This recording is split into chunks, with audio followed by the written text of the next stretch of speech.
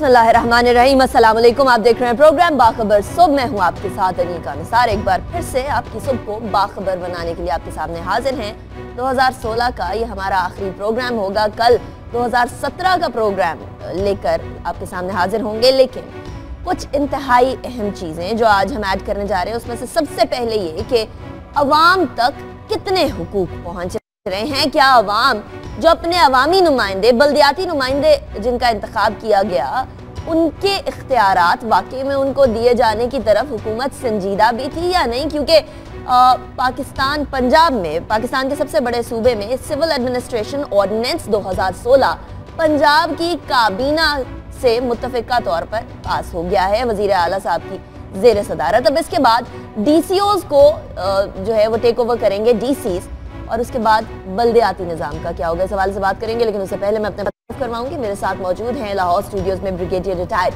सैयद गजनफर अली साहब। गजनफर साहब शुक्रिया आपने ज्वाइन किया। इस्लामाबाद स्टूडियो से हमें ज्वाइन किया है खाबर घुमन साहब ने। खाबर साहब शुक्रिया आपने ज्वाइन किया। खाबर साहब ये डीसी टेक ओवर करेंगे डीसीओ की जगह पर। पास हो चुका है ये ऑर्डिनेंस अब हम कोई सवाल कर सकते हैं कि जी किधर गया बल्दियाती निज़ाम? किधर गई आपकी विल अनिका, आपको तो नया आने वाला साल कल से मुबारक हो और, लेकिन साथ साथ आपको ये भी आपकी किस्मत पे मैं कहूँगा कि हम थोड़ा सा क्या एतराज़ तो नहीं कह सकते, लेकिन अफसोस ज़रूर कर सकते हैं कि दुनिया आगे जा रही है और हमारे, आप पंजाब के वज़ी अला पंजाब को पीछे वो अठारह सौ इकसठ वाले निज़ाम में लेके जा रहे हैं, बल्कि उससे भी पहले वो शहनशाह अकबर का एक, उनका एक मनसबदारी का एक निज़ाम था, उसकी तरफ़ लेके जा रहे हैं। वापस डिप्टी कमिश्नर्स के हाथ में सारा कंट्रोल होगा वही अप, अपने अपने डिस्ट्रिक्ट्स को रन करेंगे। कलोनियल माइंडसेट कलोनियल जो एक एक तरीका एक कार था अंग्रेज़ के ज़माने में अंग्रेज़ बहादुर ने जो राइज किया था वही सिस्टम है। एक सिंगल हैंड में पावर होगी। इसमें वो तमाम जो एक कॉन्स्टिट्यूशनल प्रोटेक्शन जो एक डेवोल्यूशन ऑफ़ पावर है, जिसमें सेपरेशन पावर का कॉन्सेप्ट होता है कि जी एग्जेक्टिव की पावर अलहदा है जुडिशरी की पावर अलहदा है लोकल लेवल पे वो सारी की सारी यकजा करके डीसीओ के हाथ में डाल दी गई हैं। अब डीसीओ साहब उस डिस्ट्रिक्ट लेवल पे सारे इंतज़ामी अमूर के साथ साथ माली अमूर भी को लुक आफ्टर करेंगे। और इसके साथ साथ जो सबसे काबिल एतराज़ बात है वो वो जो पुलिसिंग की पावर्स हैं वो भी उनके हाथ में दे दी गई हैं। जो डीपीओ है एक डिस्ट्रिक्ट का वो भी अब जाके रिपोर्ट करेगा डिप्टी कमिश्नर को। कल मेरे तीन डिफरेंट डीपीओ से बात हुई। Man just to get the vibe के जी क्या हो क्या रहा है। अब एक डिप्टी कमिश्नर का ये कहना था मैं उस डिस्ट्रिक्ट का नाम नहीं लूँगा कि अदरवाइज़ उस बेचारे को भी सुबह बदर कर दिया जाएगा। वो कह रहे हैं कि मेरा जो डिप्टी कमिश्नर है वो मेरे से चार कोर्स जूनियर है। कहते आप मुझे बताएँ कि मैं उसी एकेडमी से मैंने भी ट्रेनिंग ली उसी सारे सिस्टम से मैं भी निकल के आया हूँ। अब मुझे अब ये बताया जा रहा है कि आप आपने जूनियर के सामने जाके आप जाके उसको रिस्पॉन्ड करें उसको रिपोर्ट करें। अब ये कौन कौन सा तरीका कार है? ये कौन सा कौन सा सिस्टम है जिसको ये लेके आगे जा रहे हैं? अच्छी बात ही कोई अच्छा सिस्टम लेके आते कोई इंडिया का कमिश्नरेट सिस्टम है पुलिस का उसका कोई लेके आते कोई बांग्लादेश का ले लेके आते अफ़गानिस्तान का लेके आते चलें किसी डेवलप कंट्री का लेके आते ये तो आगे जाने के बजाय पीछे जाने के पीछे की तरफ़ जा रहे हैं। लेकिन इसका वाद मकसद निका, पहले भी मैं एक दफ़ा एक्सप्लेन करने की कोशिश की थी। आपके 16 15 16 महीने रह गए हैं इलेक्शन में। इलेक्शन की तरफ़ आपने जाना है।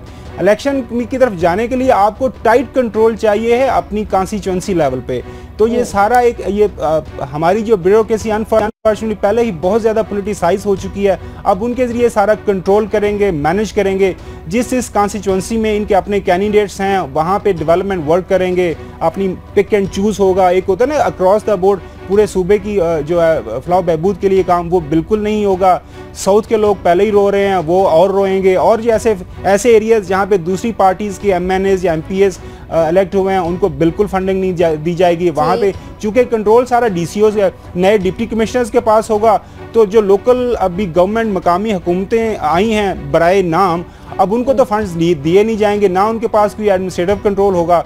अच्छा कल की जो स्टोरी ये प्लान करवाने की कोशिश कर रहे हैं कि जी ये जो नए डिप्टी कमिश्नर है इनका कंट्रोल सिर्फ़ और सिर्फ़ फोकल पर्सन का होगा कोऑर्डिनेशन का होगा। लेकिन कोऑर्डिनेशन के साथ साथ उनको ये भी पावर दे दीजिएगा वो वो मीटिंग समन कर सकेंगे अपने काम के मुताबिक जो भी वहाँ पे अगर उनको इन्वेस्टिगेशन करवानी है वो करवाएँगे। लेकिन वही मैं बता रहा हूँ कि इसका वाहिद मकसद पावर को कंट्रोल करना जो कि पीएम एम की लीडरशिप की अनफॉर्चुनेटली एक रविश रही है कि वो सेंट्रलाइजेशन ऑफ़ पावर अपने हाथ में सारी चीज़ें दो जनवरी से दो जनवरी से ये डिस्ट्रिक्ट में डिप्टी कमिश्नर के थ्रू अपना वो कंट्रोल करेंगे। जी। ठीक है। साहब दो जनवरी से इसका नफाज हो जाएगा यानी पंजाब की आवाम को पहला तोहफा तोहफा कह लीजिए या पहली बुरी खबर ये ये मिलेगी कि जी डीसी अब कंट्रोल करेंगे तमाम चीज़ें। लेकिन आम आदमी को इस बात की फ़िक्र है कि क्या उसका काम होता है या नहीं। उसे निज़ाम से फ़िक्र नहीं उसे इस बात से फ़िक्र है कि क्या उसका काम होगा या नहीं। ऐसे में तमाम फाइनेंशियल रिस्पॉन्सिबिलिटीज इस निज़ाम को दे देना जो डेवलपमेंट की हैं वो ठीक होगा। बहुत बहुत शुक्रिया अलीखा। पहले तो, तो आपके इस अपने प्रोग्राम के थ्रू में एक छोटी सी बड़ी अच्छी सी खबर शेयर करूँगा अपने नाजीन के साथ। वो ये है कि पाकिस्तानी अमेरिकन बॉन्ड डॉक्टर हैं डॉक्टर चुटानी।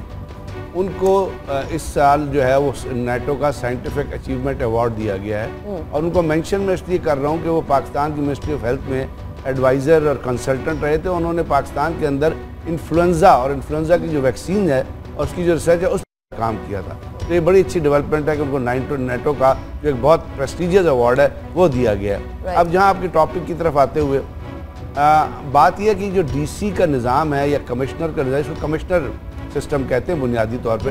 एडमिनिस्ट्रेटिव सिस्टम है और ये पाकिस्तान में जनरल परवेज मुशरफ की हुकूमत के आने तक यही निज़ाम नाफिज रहा था और इसी निज़ाम के तहत हम ऑपरेट कर रहे थे। पहली बात तो ये कल कल की जो खबर है उसमें जो पुलिस है उसको डीसी के कंट्रोल से निकाल दिया गया है। हम्म। क्योंकि कोई चौदह आई थे जिन्होंने एक न सिर्फ़ अप्रीहेंशन की थी बल्कि पंजाब के आईजी ने भी उसके ऊपर बड़ी अप्रीहेंशन की थी और कल के वो पेपर में छपी भी बल्कि उसके साथ साथ एक और भी खबर आई थी कि तमाम असिस्टेंट कमिश्नर ने कहा था कि हम भी पूरे पंजाब में स्ट्राइक करेंगे अगर पुलिस को हमारे साथ से जिस तरह आप कह रही हैं वो निकाला गया। हम्म। असल में पुराना जो निज़ाम था ना उसके अंदर जो सिस्टम था उसमें कहीं भी पुलिस डीसी के कंट्रोल में नहीं थी।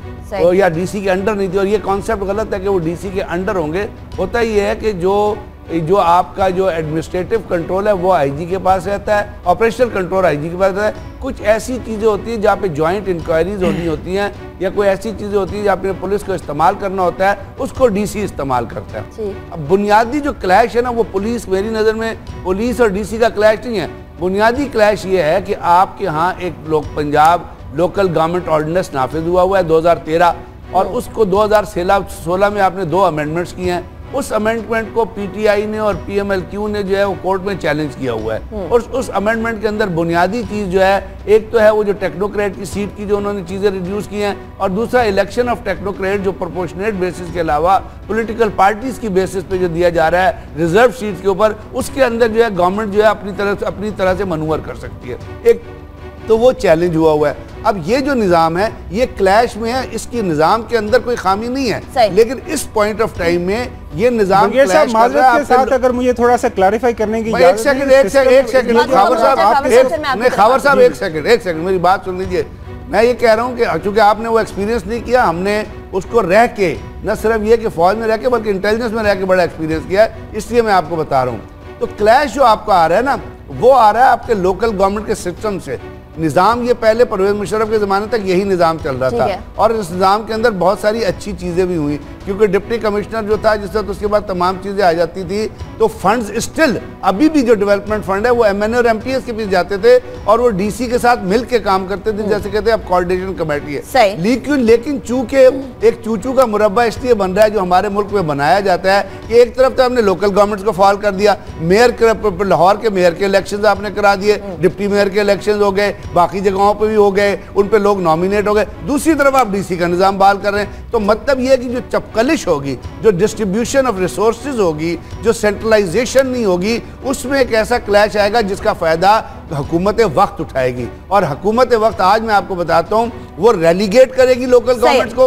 लोकल गवर्नमेंट को फंड नहीं देगी क्योंकि डिप्टी कमिश्नर के ऊपर कमिश्नर है और डिप्टी कमिश्नर के नीचे असिस्टेंट कमिश्नर है। हम्म। तो गवर्नमेंट का एडमिनिस्ट्रेटिव कंट्रोल जो होता है वो ज़्यादा हो जाता है सिस्टम के ज़रिए अपना आपकी ब्यूरोक्रेसी के ऊपर। और गवर्नमेंट ये जो हुकूमत है ये ब्यूरोक्रेसी को हमेशा अपने थम के नीचे रखना चाहती है अंगूठे के नीचे तो ये मैनिपुलेट करेंगे और ये मैनिपुलेट होगा इसका जो नुकसान होगा वो पंजाब के अवाम को होगा और जिस तरह आप डिलीवरेंस कर रहे हैं जो आप तरक्याती स्कीमें सोचे वो उस तरह इंप्लीमेंट नहीं होंगी जो काउंसलर के ज़रिए और मेयर के ज़रिए चीज़ तो सामने आ गई कि जो बल्दियाती इंतबात हुए हैं वो इंतबात किसी भी खाते के अंदर नहीं जाएँगे किसी किस्म का फ़ायदा नहीं हो पाएगा क्योंकि उस तरीके से इख्तियार नहीं आ पाएँगे लेकिन जहाँ इख्तियार हैं भी वहाँ इदारे क्या कर रहे हैं? एफ़ आई ए क्या कर रहा है? एफ़ बी आर क्या कर रहा है? क्योंकि पाकिस्तान में माशी जराइम की शरह बड़ी है और कन्विक्शन रेट कम हो गया यानी 2016 में ये कन्विक्शन रेट सिर्फ़ और सिर्फ़ सात फ़ीसद रहा, जो कि आलमी सतह के,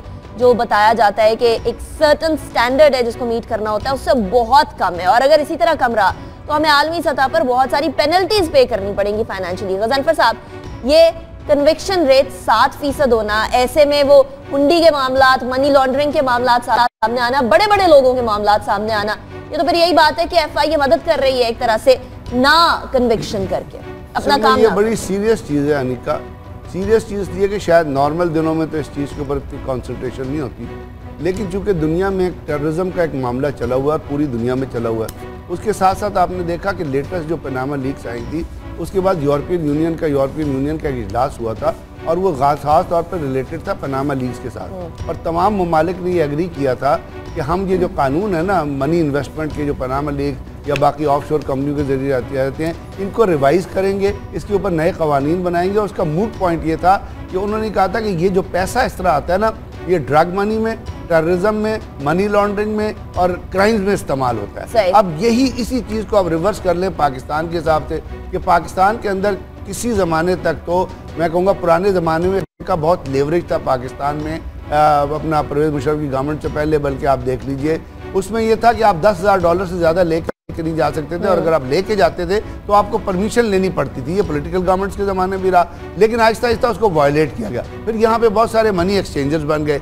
अब मनी एक्सचेंजेस जितने बने हैं उनका जितना भी कारोबार चलता है वो हुंडी और हवाला के ज़रिए चलता है। और हुंडी और हवाला का कॉन्सेप्ट ये होता है कि आप बाहर कहीं पैसा पे कर देते हैं यहाँ रिकवर कर लेते हैं यहाँ पैसा पे करते हैं बाहर रिकवर करते हैं। इससे कहते हैं कि आप 236 बिलियन जो रुपए हैं वो आपके बाहर ट्रांसफ़र हुए हैं। अब एफ़ के अंदर आपने अगर फाइनेंशियल टास्क फोर्स ना बनाई।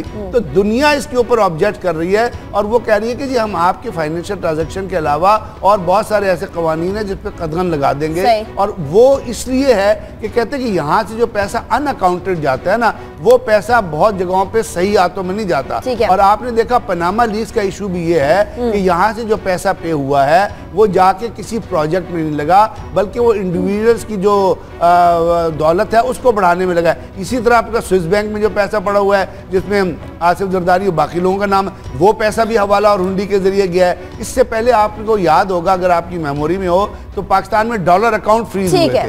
डॉलर अकाउंट फ्रीज होने से दो दिन पहले यहाँ से पाकिस्तान से बहुत सारे रकम गई थी जिनका पैसा जो है वो अपना डॉलर जो थे वो थैलों में भर के गए थे। तो इस इन कवान इन इस सिनेरियो में जिसमें हम रह रहे हैं और जहाँ पे आपके कन्वेक्शन रेट जो है वो रोज़ाना डिक्रीज होता जा तो रहा है और उसके ऊपर जो फॉरेनर्स डिक्लाइन होंगे डेफिनेटली खाबर साहब यहाँ सवाल ये पैदा होता है कि एफ़ कई दफ़ा काम करती है तो आपने देखा उनके कई तफ्तीशी अफसरान के साथ क्या हुआ? वो भी। आपको लगता है मोराल डाउन हुआ है? इनको भी बैकिंग की ज़रूरत है सपोर्ट की ज़रूरत है हुकूमत की जानब से? बहुत बढ़ता जा रहा है फाइनेंशियल क्राइम पिछले साल तो हम लोगों ने कई कई बड़े बड़े लोगों के नाम सुने इसमें। अनिका इस, आपके सवाल पे जाने से पहले लिटिल क्लैरिफिकेशन अगर आप ऑर्डिनेंस जो आ रहा है उसकी अगर आप शिक्स पढ़ लें तो आपको नज़र आ जाएगा कि वहाँ पे किसका कंट्रोल है डीसी का कंट्रोल है या पुलिस का, वो तो हम ऑर्डिनेंस आ जाएगा, उसमें सारी चीज़ें वाजे हो जाएँगी। आप इस इस स्टोरी की तरफ़ ये जो कन्विक्शन रेट है, अगर पाकिस्तान में बाकी सारे दूसरे कन्विक्शन रेट के हवाले से देखें तो मेरे ख्याल में ये तो बड़ा हेल्दी सेहतमंद कन्विक्शन रेट है। बाकी आपका कन्विक्शन रेट कैसा रहा? कराची के अंदर क्या कन्विक्शन रेट है? पंजाब के अंदर बड़े बड़े जो जितने दहशत गर्दी के केसेस हुए, वहाँ पर क्या कन्विक्शन रेट है? माल टाउन के अंदर हादसा हुआ सबके सामने हुआ, वहाँ पर क्या कन्विक्शन रेट है? अगेन अब इशू पता क्या आ रहा है? इशू ये आ रहा है कि पूरी दुनिया में ये सारी की सारी इंटरनेशनल इंटरनेशनल लेवल पे ये सारी स्ट्रेटजीज बन रही होती हैं। जब तक तो उनको इंटरनेशनल पावर्स को या वेस्टर्न सो कॉल जो जो जमहूरीतें हैं, उनको ये सूट करता था कि हमारी अशराफिया के पैसे उनके बैंक्स में पड़े हुए हैं और उन पैसे से वो फ़ायदे उठा रहे हैं, चाहे वो स्विस बैंक्स हैं, चाहे वो बैंक्स हैं, चाहे वो अमेरिकन बेस्ड बैंक्स हैं, यहाँ से आराम से लोग पैसे ले ले, लेके वहाँ पे पैसे डंप करते हैं, वो उस पैसे को इस्तेमाल करते हैं। अब चूँकि अब आई एस एस दाइश या दूसरे जो इंटरनेशनल टेररिस्ट नेटवर्क हैं, वो इन्हीं के सारे चैनल्स को इस्तेमाल करके वहाँ पे दहशतगर्दी कर रहे हैं। तो अब उनको ये यकदम होश आ गया इंटरनेशनल पावर्स को कि ये तो बड़ा मसला हो गया अब इसको चेक करना पड़ेगा। अब उनका अब यही है कि वो फिर नई नई जो पॉलिसी मेकिंग इन प्लेस आ रही हैं। और ये है कि चूँकि पाकिस्तान जैसे हम तो शुरू दिन से सफ़र कर रहे हैं अब हमारे मुल्क में दहशत गर्दी की वजह क्या बनी? अफगान वार हमने तो नहीं शुरू की थी अमेरिकन आए थे उसके बाद अभी भी नाइन इलेवन के बाद क्या हुआ? वो सारे मतलब हम तो हम तो शुरू से सफ़र कर रहे हैं। तो ये सारी की सारी जो इंटरनेशनल लेवल की डिसीज़न मेकिंग है कि चूँकि अब आप आप ये करें ठीक है, हम तो करेंगे। यस हमारे मुल्क के अंदर जो कानून की अमलदारी है आइन की अमलदारी है वो वो ठीक नहीं है। हमारे यहाँ ये जो सारे बेहुंडी का आपने बात ब्रिगेड साहब ने बात की और ये जो सारी मनी ट्रांजेक्शन हैं सस्पिशियस ट्रांजेक्शन पे उन पर चेक होना चाहिए। हमारे एफ़ आई ए हमारे नैब हमारे दूसरे जो तहकीकती इदारे हैं। वो ठीक काम नहीं कर रहे उनको करना चाहिए। लेकिन ये जो इंटरनेशनल लेवल से हमें जो अमेरिका से अमेरिका बहादुर से हमें एक सुजेशन आ जाती है कि आप इसको करें अदरवाइज़ आपकी आप पे सैंक्शन लगा देंगे या किसी यूरोपियन यूनियन से आ जाता है कि जब आप इस चीज़ को कंट्रोल करें तो सैंक्शन लगा देंगे। तो ये ये इंटरनेशनल लेवल पे जो आपको पता है कि इंटरनेशनल लेवल पर यस हमारे मुल्क के अंदर हमने अपने मुल्क के अंदर कंट्रोल करना है और इनको कंट्रोल करना चाहिए अच्छे तरीके से। कोई कमेंट ये करना चाहूँगा कि अगर आप इंटरनेशनल लेवल की ऑर्गेनाइजेशंस को इस सीनारियों से बाहर भी निकाल दिए ना तो जो दुनिया में एंटी मनी लॉन्ड्रिंग लॉज हैं और है। पाकिस्तान वो बहुत बड़ा क्राइम है। हमें अपने मुल्क के लिए अगर आपका दो सौ छत्तीस बिलियन बाहर चला गया तो मुल्क को नुकसान हुआ ना इसके लिए हमें अपने लॉज चलिए हम लोगों ने साहब उन्नीस सौ बानवे उन्नीस सौ बानवे के अंदर अंदर प्राइम मिनिस्टर नवाज़ शरीफ था साहब थे उन्होंने एक एक्ट लाया था जिसके जिसके नहीं उन्नीस सौ बानवे में प्राइम मिनिस्टर नवाज़ शरीफ साहब पावर में थे उस टाइम उन्होंने एक एक्ट लाया था जिसके ज़रिए मनी बाहर ट्रांसफ़र कर सकते ठीक है मैं मैं दूसरे टॉपिक की तरफ़ जाना चाहूँगी कवानीन बनते रहते हैं इंप्लीमेंटेशन नहीं होती। जुडिशल सिस्टम की बात कर रहे हैं। हम लोग कवानीन बनाते हैं इम्प्लीमेंटेशन नहीं करते सजा नहीं देते। सजा नहीं देंगे तो किस तरीके से मामला आगे चलेंगे? और जुडिशल सिस्टम के बारे में होने वाले chief justice of Pakistan justice Saqib Nisar साहब ने एक ऑब्जर्वेशन दी। और वो ये कहते हैं कि हम अपने सिस्टम का जुडिशल सिस्टम का खुद मज़ाक उड़ा रहे हैं। रिव्यू पिटिशंस पे रिव्यू पिटिशंस दायर की जाती हैं सुप्रीम कोर्ट में और वक्त ज़ाया किया जाता है अदालत का। ऐसी रिव्यू पिटिशंस के बारे में बात करते हुए खबर साहब कहते हैं कि जुर्माना भी आयद कर दिया उन्होंने कि दस दस हज़ार रुपए जिन्होंने रिव्यू पिटिशन गलत फ़ाइल की हैं, वो पे करेंगे। यानी हम अपना जुडिशल सिस्टम सही बना सकते हैं, लेकिन नहीं बना पा रहे। खुद अपने हाथों से बिगाड़ अनिका, जस्टिस साकब निसार साहब, आज पाकिस्तान के 25वें चीफ जस्टिस ऑफ़ पाकिस्तान का वो हलफ उठाएँगे। आज इस्लामाबाद में उसकी तकरीब हो रही है। एक दिन पहले कराची के अंदर वो सुप्रीम कोर्ट रजिस्ट्री का एक केस हेयरिंग हो रही थी। वहाँ पे कुछ काफ़ी ज़्यादा रिव्यू पटिशन आई हुई थी। होता यह है कि सुप्रीम कोर्ट लेवल पर भी अगर डिसीज़न हो जाता है तो कानून आपके आइन के अंदर कानून के अंदर एक वो एक एक ऑप्शन है कि आप रिव्यू पिटिशन में चले जाते हैं। हम्म। अब आ, हमारी लॉयर्स कम्युनिटी अब ये है कि हमारे वो क्लाइंट्स तो चाह रहे होते हैं कि किसी ना किसी तरह केस ड्रैग हो तो वो रिव्यू पिटिशन में चले जाते हैं। रिव्यू पिटिशन में जाने के बाद वो आपको पता है कि केस की हेयरिंग वो डिले होती रहती है तो जो इशू होता है वो पेंडिंग रहता है ड्रैग ऑन करता है तो उसमें जो कंसर्न पार्टीज़ हैं वो अपने अपने फ़ायदे उठा रही होती हैं।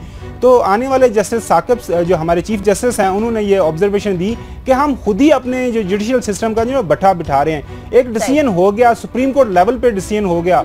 हाँ एक क्लास है कि अगर किसी लेवल पे सुप्रीम कोर्ट में सुप्रीम कोर्ट से भी कुछ चीज़ें अगर ओवरलुक हो जाती हैं तो आप रिव्यू पिटिशन में जा सकते हैं। लेकिन इसका हरगिज मकसद नहीं है कि आप हर केस के ऊपर रिव्यू पिटिशन डाल दें और जब रिव्यू पिटिशन होगी तो वो जो डिसीज़न आया होगा उसकी इम्प्लीमेंटेशन नहीं होगी। तो मेरे ख्याल में ये बड़ी अच्छी ऑब्जर्वेशन है। ये हमारी जो बार और बेंच को साथ बैठ के कुछ एक कोड ऑफ़ एथिक्स डिसाइड करना चाहिए कि किसी लेवल पे अगर डिसीज़न हो जाता है तो कि, किस सूरत में आप रिव्यू पटिशन में जाएँ? हर चीज़ पे अगर आप रिव्यू पटिशन में जाएँगे तो वो डिसीज़न मेकिंग होगी चीफ जस्टिस लेवल पे या सुप्रीम कोर्ट लेवल पे तो उसका कोई, कोई हल नहीं निकलेगा। लिहाजा इस रिव्यू पटिशन जो है ये एक एक जो हमारी लॉयर्स कम्युनिटी इसको बार बार इस्तेमाल करते हैं इसको इस्तेमाल नहीं करना चाहिए बड़ा सोच समझ के इस्तेमाल करना चाहिए। क्योंकि तो, ये एक्स्ट्रा तो बर्डन डालता है कोर्ट के ऊपर और साथ साथ और जो फैसले जो इंसाफ की फ्राहमी है जो गरीब पार्टी को होनी चाहिए वो नहीं हो पा रही। जी। ये कानून का हिस्सा है गजनफर साहब कानून से निकाल दीजिए तो वकला भी इस्तेमाल नहीं करेंगे वकला तो वो करेंगे जो कानून में लिखा है। इसका कोई सोल्यूशन निकाले फिर। नहीं जो खबर चीज़ें कहीं ना वो तो आपकी रिलेट करती है ना फैक्ट्स के साथ जो आजकल एग्जिस्ट कर रहे हैं। हम्म। कि आप एक डिसीज़न हुआ उसके ऊपर रिव्यू में चले गए वो डिसीज़न हुआ उसके ऊपर रिव्यू में चले गए क्योंकि बुनियादी तौर पर डिसीजंस के लिए आपके अंदर रिव्यू के जाने के लिए आपके अंदर क्लॉज मौजूद है। हम्म। लेकिन हमारे जो जस्टिस आकिब निसार साहब है ना ये बड़े प्रोएक्टिव किस्म के जितना मैं इनको जानता हूँ। और बड़े ये मैं कहूँगा एक पढ़ा लिखा चीफ जस्टिस जिसको आप कहना जिसकी बहुत गहरी नज़र है दुनिया के कवानीन पर पाकिस्तान के कवानीन और वो बड़े रियलिज्म में रहते हैं रियलिस्टिक आदमी हैं। तो ये जो उन्होंने कही ना यही चीज़ रियलिज्म से रिलेट करती है। हम्म। और इसके साथ दूसरी चीज़ जो है ना जो आपके पास बैकलॉग आ रहा है केसेस का। जब रिव्यू में आप जाते हैं ना तो बुनियादी तौर पे आप केस को बैकलॉग में लेके जाते हैं कि वो अजाफा करता है आपके जो फ्रेश केसेस दरमियान में आ रहे होते हैं। तो मेरा ख्याल अगर ये लॉजिकल ना बने तो जो बात उन्होंने कही है वो न सिर्फ़ आपके जुडिशियल सिस्टम के ऊपर जो प्रेशर है उसको कम करेगी बल्कि नए केसेस की जो इंडक्शन है और नए केसेस का प्रोसेस है ना उसको भी एक्सपीडाइट करेगी। अब लाहौर कोर्ट हाई कोर्ट के जो चीफ जस्टिस हैं या सिंध हाई कोर्ट में जो चीफ वो जो फैसले अभी कर रहे हैं वो अगर आप उनकी उनकी स्प्रिट देखें तो वो स्प्रिट बड़ी हद तक जो रियलिस्टिक सिचुएशन है ना जो ग्राउंड सिचुएशन है जैसे उन्होंने कहा जी एम को एक लाहौर हाईकोर्ट का फैसला आया कि जो डेवलपमेंट फंड के हिसाब से आया। अब वो लोगों की आवाज़ मतलब वो लोग फील करते हैं। हालाँकि हाई कोर्ट या सुप्रीम कोर्ट तो फैसले लोगों की आवाज़ पे नहीं करती वो तो उस एविडेंस पे करती हैं या उन शवाहिद पे करती हैं उन सबूत पे करती हैं या उन डॉक्यूमेंट्स पे करती हैं जो उनके सामने पेश किए जाते हैं। तो मेरा ख्याल है अगर इस किस्म का चीज़ हुआ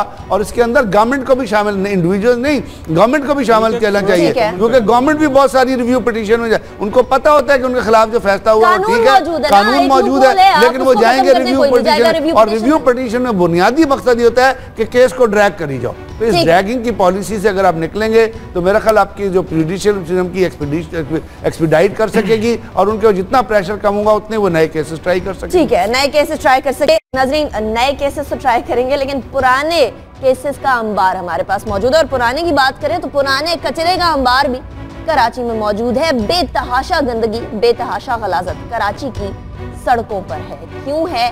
इसका क्या किया जाएगा? इस हवाले से बात करेंगे लेकिन एक ब्रेक के बाद।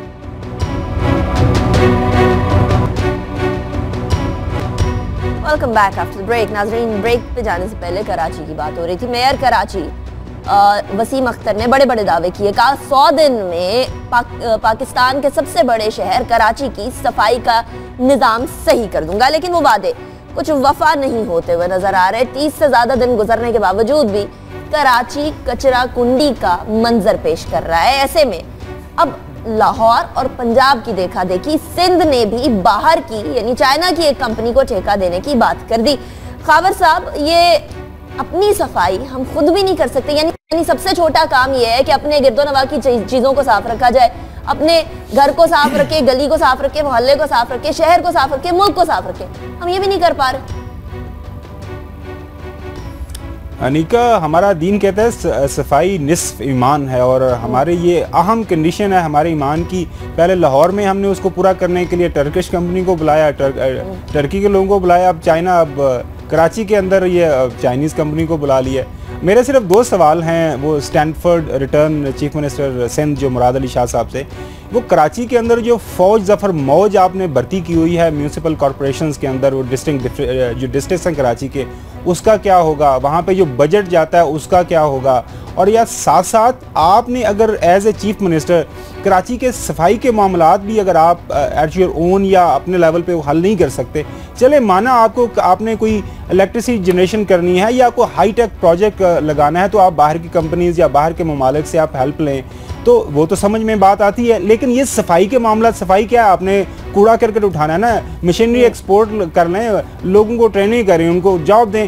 आपके मुल्क के अंदर अनएम्प्लॉयमेंट पहले ही ज़्यादा है। आप ये बाहर की कंपनीज़ को ठेके देते जा रहे हैं सफ़ाई तक के ठेके उनको देते जा रहे हैं। तो मेरी तो समझ ये चीज़ बिल्कुल बालातर है कि ठीक है आप बाहर की कंपनीज़ को बुलाते हैं पर किसी काम के लिए बुलाएँ ना।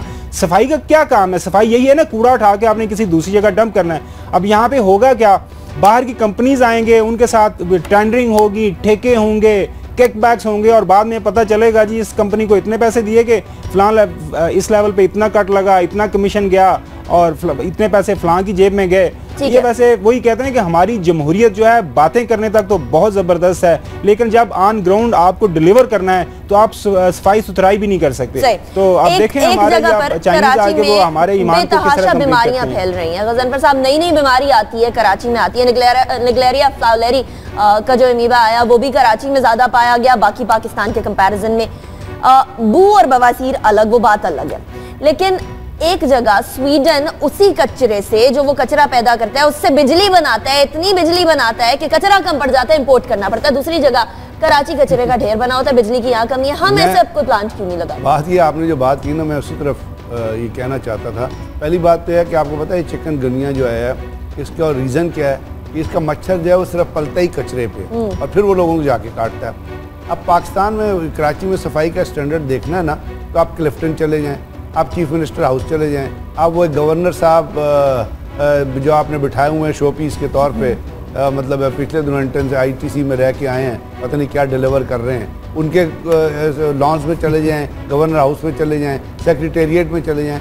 तो सफ़ाई इनको पता है कहाँ कहाँ करनी है। हम्म। ना आप इसको वसीम अख्तर को जिम्मेदार ठहरा सकती हैं क्योंकि ना तो उनको आप पावर्स दे रहे हैं वो हम्म। रोज़ाना चीख रहे हैं कि जी हमें पावर दें ना उनके पास कोई फंड है ना उनके पास कोई कैपेसिटी है। आप खावर ने कहा मुराद अली शाह साहब का। ब्रिगेडियर साहब के पास 2002 से लेके 2008 तक सारी पावर थी तब उन्होंने कुछ नहीं बात सुने ना हज़ार आठ बात सुने। 2002 से 2008 से आप मुस्तफ़ा कमाल के दौर पर चले जाएँ या जब उनका मेयर था वहाँ बहुत सफ़ाई थी। आज की बात करें जब से पीपल्स पार्टी की गवर्नमेंट आई है और जब से पीपल्स पार्टी की गवर्नमेंट आई है सारी ताकतें पीपल्स पार्टी के पास है। हम्म। आप मुराद अली शाह की बात करते हैं मुराद अली शाह तो पानी खुद नहीं पी सकता है। वो तो पूछता है जरदारी साहब से कि जी गिलास पी लूँ पानी का? उसकी क्या कैपेसिटी है? He has no capacity is no पार पीछे उसको रिमोट कंट्रोल कौन कर रहा है? अगर ये जो जरदारी साहब इतनी बड़ी बड़ी बातें करते हैं कल सिंधी में खिताब कर रहे थे इनको कहीं इनको नज़र नहीं आता कराची में कचरा है? ये कहते हैं जी कराची या सिंध हमारा शहर है। तो बात है जो जो हुकूमत कचरा नहीं उठा सकती जिस हुकूमत के होते हुए कचरे की वजह से बीमारियाँ फैल रही हैं तो सिंध के आवाम को ये नज़र नहीं आ रहा तो, कि उस हुकूमत के रहने का क्या जवाब है। तो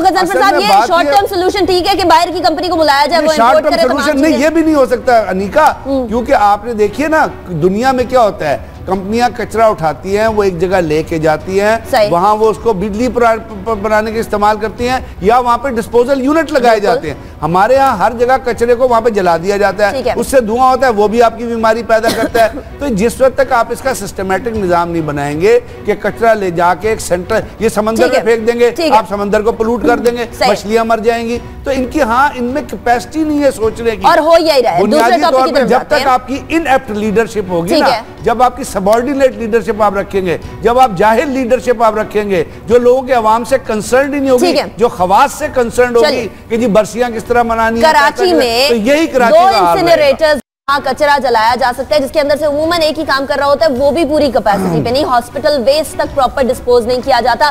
लैंडफिल एरिया जो है, वहाँ कच्ची आबादियाँ बन गई हैं, ताकि कचरे में से कुछ चीज़ ढूंढकर वो अपने जो है खाने पीने का इंतज़ाम कर सके किसी ना किसी तरीके से। ये हाल है कराची का। ये मेरे आँखों देखा हाल है और अफसोस होता है। इस बात पर कि वो इकोनॉमिक हब जो पाकिस्तान की इकोनॉमी को चलाता है, उसका ये हाल है। लेकिन एहतसाब होगा तो चीज़ें आगे बढ़ेंगी डेफिनेटली और एहतसाब नहीं हो रहा है इसीलिए सेनेट के चेयरमैन रजा रब्बानी साहब ने प्राइम मिनिस्टर को नहीं अपोजिशन लीडर को नहीं, अवाम के नाम एक खत लिखा और ये कहा है कि एहतसाब के निज़ाम को बेहतर बनाना होगा। ये बहुत पुराना निज़ाम हो चुका है। इसके लिए कमेटी बनानी होगी, पार्लियामेंट्री कमेटी। खाबर साहब, ये रजा रब्बानी साहब को, अवाम को खुला खत लिखने की क्या ज़रूरत पड़ी? अपने लीडरशिप को या वज़ीर साहब को क्यों नहीं लिखा? अनिका मैं वो कल लेटर तो मैंने पढ़ा। लेटर में तो अच्छी बातें की गई उन्होंने कहा। उन्होंने सारा हिस्ट्री बयान की कि कब से क्या क्या जो लॉज बने करप्शन को रोकने के लिए उन पे इम्प्लीमेंटेशन नहीं हो सका।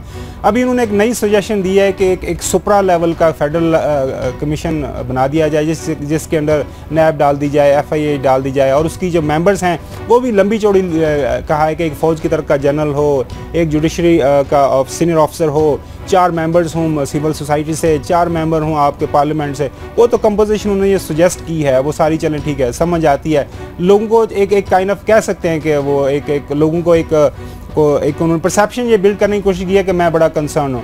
मेरा सिर्फ़ एक सवाल है कि सेनेटर रजा रबानी साहब सिक्स टाइम सेनेटर हैं छः दफ़ा ये सेनेटर इलेक्ट हुए हैं। उन्नीस सौ तिरानवे से लेकर उन्नीस तक ये लॉ मिनिस्टर थे बेनजीर भुट्टो साहबा के साथ, जिनका अक्सर जो असल जो काम है वो है ही इस तरह के लेजिस्लेशन करना जिससे आप मुल्क के अंदर करप्शन या सारे इस तरह की चीज़ों को रोक सकें। हम्म। उसके साथ साथ उसको भी छोड़ें। दो 2013 से ये 2000 जब ये पिछली गवर्नमेंट थी उसमें ये he was head of the parliamentary committee on on constitutional reforms काम क्या था? जिसका काम ये था कि आपने नए नए कानून बनाने हैं जिसके ज़रिए आपने ये सारी चीज़ें टैकल करनी है। अठारहवीं तरमीम तो आपने उसमें बना ली अठारहवीं तरमीम से आपको आपने प्रोविंशियल ऑटोनॉमी दे दी उस पर भी काफ़ी लोगों के सख्त रजा रबानी साहब रबानी साहब के ने जो जो एटीन अमेंडमेंट वो ठीक नहीं मैं तो सिर्फ़ ये एक सवाल पूछना चाहता हूँ रजा रबानी साहब से। आप एक बड़ी पार्टी का बड़े लंबे अरसे तक हिस्सा रहे हैं। आपने लेफ़्ट की पॉलिटिक्स की है एज ए स्टूडेंट तो अब ये जो आप लोगों को क्यों लेटर लिख रहे हैं? आपको जरदारी साहब नज़र नहीं आ रहे, आपको बिलावल भुट्टल जरदारी नज़र आ रहे। आपको सेनेट के अंदर आपकी है वो नज़र नहीं आ रही। आप किसको ये ये बेवकूफ़ बनाने की कोशिश कर रहे हैं? लोगों को आप बनाने की कर रहे हैं? अब एक साल रह गए आप रिटायर होने जा रहे हैं। आप तिरसठ साल के हो गए हैं। अब इसके बाद आपने हज भी कर लिए गवर्नमेंट के खर्चे के ऊपर। सारे आपने मामला साफ़ कर लिए हैं उसके बाद आराम से बैठ जाएँगे। और लोगों के सामने अच्छा बनने के लिए ये लेटर है। मैं तो ये चाहता हूँ इस मुल्क के अंदर करप्शन ना हो। और भाईजान जब आपके पास पावर्स थी आप मिनिस्टर रहे हैं आप सेंटर रहे हैं आप एक इतनी बड़ी कमेटी के हेड रहे हैं अठारहवीं तरमीम के तरमीम के अंदर आप यही चीज़ें नहीं डाल सकते। थे वहाँ पे आपने ये तो चीज़ डाल दी जो चेयरमैन का इलेक्शन वो जो सिलेक्शन होगी वो प्राइम मिनिस्टर और अपोजिशन लीडर के दरमियान होगी। और चूँकि वो सारी मिली बकत से होना है तो वो आप कर रहे हैं वो चीज़ें आप नज़र नहीं आ रही। एक दो एक दो मीटिंग जरदारी साहब के जमाने के दरमियान दरमियान हुई थी जब इनके बारे में वो बड़े सख्त किस्म के अल्फाज भी इस्तेमाल हुए थे। तो ये गलत बात है ये गलत बात है। रजा रबानी साहब का स्टेचर बहुत बड़ा है उनको ऐसी बात नहीं करनी चाहिए। आपको याद होगा और ठीक है उसकी भी रिस्पेक्ट करते हैं उनके इमोशंस की रिस्पेक्ट करते हैं लेकिन सिर्फ़ और सिर्फ़ इमोशंस नहीं ना असल में हमें काम चाहिए असल में मैंने आपसे बारहा कहा है कि हमारे यहाँ बुनियादी तौर पे पॉलिटिकल लीडर्स और पार्टीज़ रिटोरिक्स पे बिलीव करते हैं। ठीक है। जिस मुल्क में रिटोरिक्स स्ट्रांग होंगे विजन नहीं होगा कमिटमेंट नहीं होगी वहाँ पे इसी किस्म के खत लिखे जाएँगे। Right. कोई कतरी से ज़्यादा खत लिख देगा कोई कहीं और से खत आ जाएगा। वो तमाम चीज़ें ये ख़त जो होते हैं ये करप्शन छुपाने के लिए रखे जाते हैं। अब रवजा रबानी साहब से पूछे आप सेनेट के चेयरमैन हैं। आपने एटीन अमेंडमेंट जो आजकल बहुत सारे क्लैश की वजह बनी हुई है हम्म। जिससे आपके यहाँ काम जो है वो रुक गया है। ना प्रोविंशल्स कर प्रोविंसेस कर रहे हैं ना फेडरल कर रही है। इससे पहले कोई ना कोई लिंकेज आपका मौजूद होता था। फेडरल प्रोग्राम ने वो सारा तबाह कर दिया क्योंकि आपकी नज़र में बहुत बड़े आप जमहूरियत पसंद थे। और हम्म। उस जमहूरियत ने उस चीज़ ने तबाह कर दिया तमाम सिस्टम को। आज आप ख़त लिख रहे हैं मुझे तो समझ नहीं आता कि मैं फिर हंसू या रोऊं हम्म। कि आप सेनेट के चेयरमैन हैं। आप गवर्नमेंट से बात कर सकते हैं। और आप जरदारी साहब जो इतने आए हुए मैंने कहा ना मुराद अली शाह को खावर कह रहे थे वो तो पानी नहीं पी सकता। पीपल्स पार्टी का आप कोई लीडर ऐसा नहीं है जो अपने दिमाग से कोई फैसला कर सके। पीपल्स पार्टी का कोई ऐसा लीडर नहीं है जो कोई इनिशिएटिव ले सके। आप देखिए बिलावल के पीछे जो साठ साठ साल के लोग खड़े होते हैं आपको हँसी नहीं आती उन पे जिस वक्त वो उसकी उसके पीछे खड़े होकर उसकी ताबेदारी करे ये जिस वक्त तक आपके निज़ाम रहेगा ये वाला मौरूसियत का पाकिस्तान इसी तरह के खत लिखते रहेंगे और अपनी जान छुड़ाते रहेंगे अपने फैसले नहीं करेंगे और ये बहुत बड़ा ये बहुत बड़ा अफसोसनाक मुकाम है कि आप उठा के खत लिख देते हैं आवाम को। जानते हुए भी कि कुछ नहीं होगा चलिए खत लिखने से इमोशनल हो जाने से कौम के मसले हल नहीं होंगे। आप एक ऐसे अहदे पर बैठे हैं जहाँ वाकई में चेंज ला सकते हैं और आप वो चेंज नहीं ला पा रहे। चेंज तो एनएसजी के कुछ रवैये में भी आई न्यूक्लियर सप्लायर ग्रुप के रवैये में इंडिया की तरफ़ झुकाव नज़र आ रहा है। उनके पुराने सबक चेयरमैन साहब की तरफ़ से एक प्रपोजल आया, जहाँ इंडिया के लिए जरा लीनियंसी और पाकिस्तान के लिए सख्ती बरती जाने के इम्कान सामने आ गए ये प्रपोजल तो गजनफर साहब आ गया। लेकिन हमारे पास भी वहाँ कुछ ऐसे दोस्त मौजूद हैं न्यूक्लियर सप्लायर ग्रुप में जो वीटो कर देते हैं इस तरह की तमाम कोशिश असल में बात यह है कि बहुत अरसे से कोशिश हो रही है कि इंडिया को एनर्जी का हिस्सा बनाया जाए। और ये बड़ी सीरियस कोशिश कोशिश है जिसमें तमाम पार्ट और यूएस का इन्फ्लुएंस शामिल है।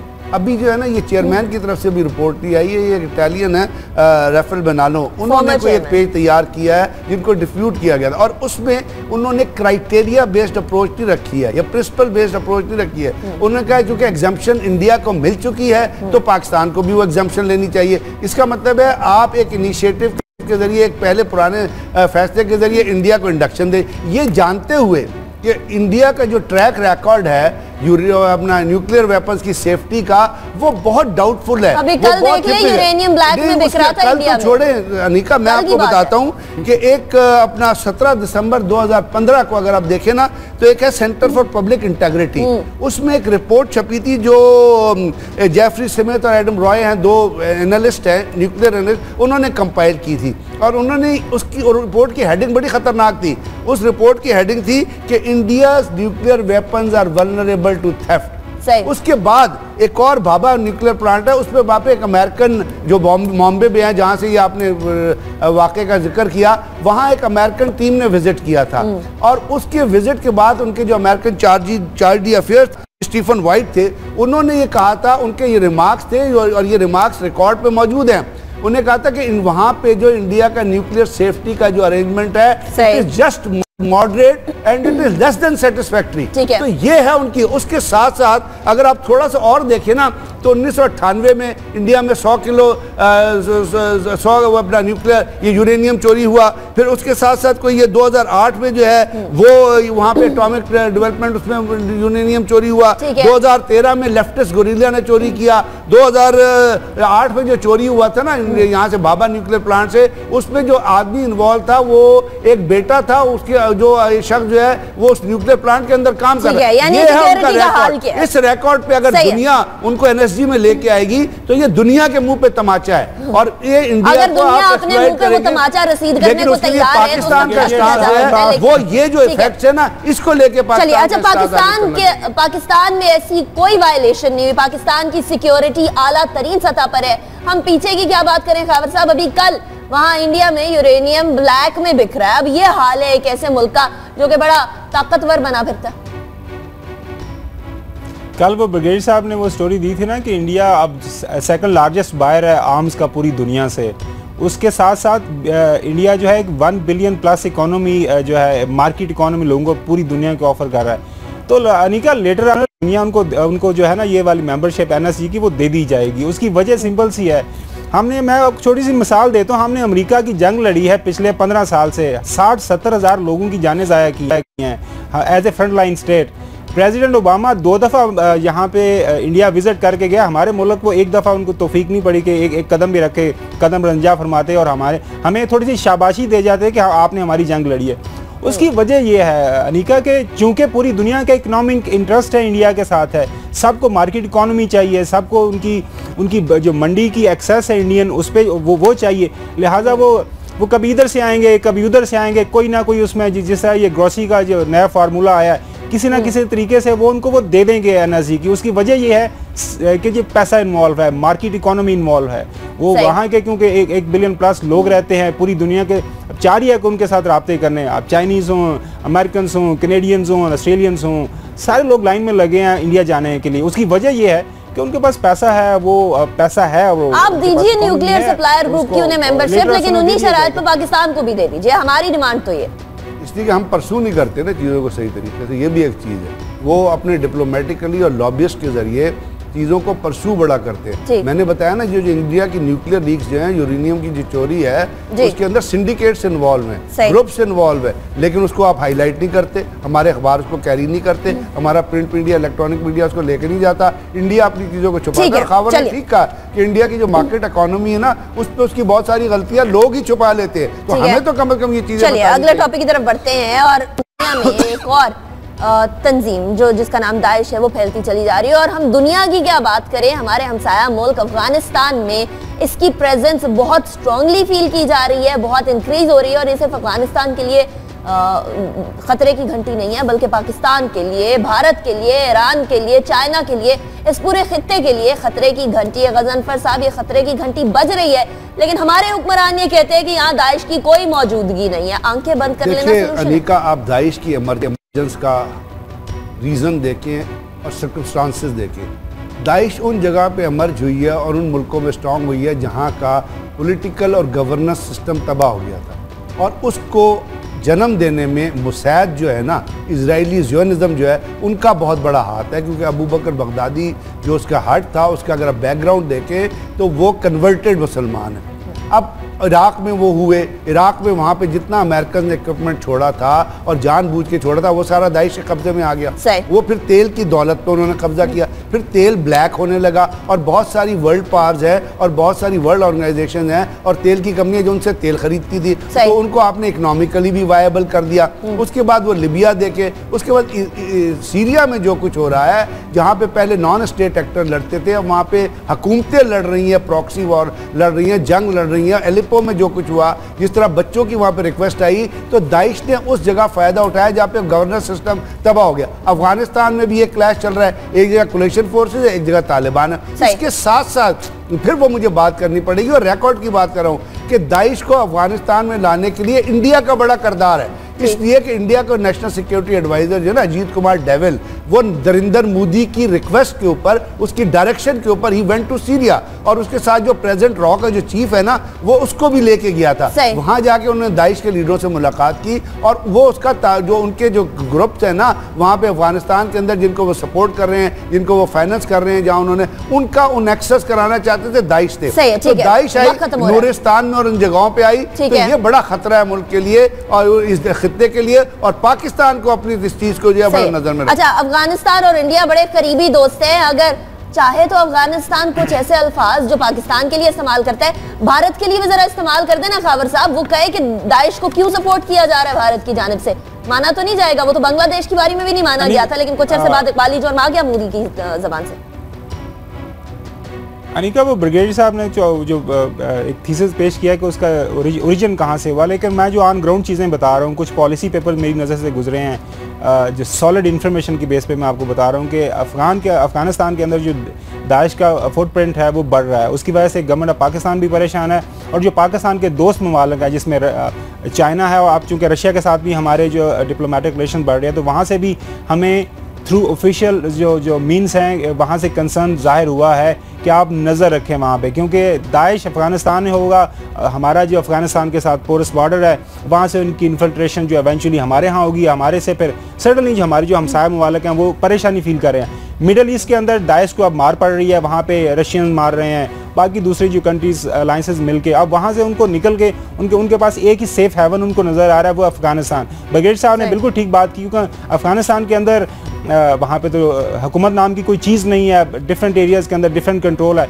तो वहाँ पे जो स्प्लिंटर ग्रुप से कुछ अलकायदा के और वो कुछ लोग जो तालिबान के साथ जिनके डिफरेंसेस थे तो वो सारे मिल मिला के तो एक कमिंग जो क्या कहते हैं कि महीनों में यहाँ पे एक सीरियस किस्म का जो है ना ये थ्रेट बनने जा रहा है। तो अभी से जो हमारे हम जो दोस्त ममालक हैं वो हमें इस कंसर्न से वो हमें वॉर्न कर रहे हैं और हमारी सिक्योरिटी एजेंसीज को और हमारे मुल्क को हमारे जो बाकी इदारे हैं जिनको इन पे नज़र रखनी है उनको उनको नज़र रखनी चाहिए। चूँकि हम हम बिल्कुल तो हम तो तो मुँह पे बैठे हुए हैं ना। अगर वहाँ पे उनकी इमरजेंसी होगी अगेन जो, जो भी होता है अफ़गानिस्तान के अंदर जो प्रॉब्लम होता है उसकी सबसे पहले हमें डेफिनेटली अफेक्ट करता है। बहुत शुक्रिया खाबर साहब बहुत शुक्रिया गजनफर साहब आप लोगों ने दो हज़ार सोलह का हमारा आखिरी शो उसके बाद फिर 2017 में आपको दोबारा ज्वाइन करेंगे। हमारी दुआ ये है कि जो गलतियाँ कोताहियाँ 2016 में हुई वो हम 2017 में ना दोहराएँ और ज़्यादा सीरियस हो कौमी मुफाद के लिए। शख्सी मफादात को छोड़कर कौमी मफादात की तरफ़ आए।